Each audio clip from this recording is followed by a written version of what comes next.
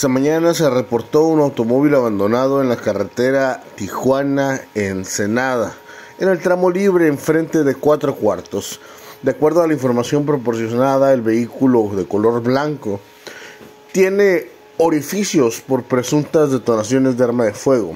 Asimismo, el automóvil quedó a mitad de la carretera, por lo cual se recomienda manejar con mucho cuidado al momento no hay una autoridad que se esté haciendo cargo de la vialidad ni de recoger o recabar pruebas en la presunta escena de este crimen.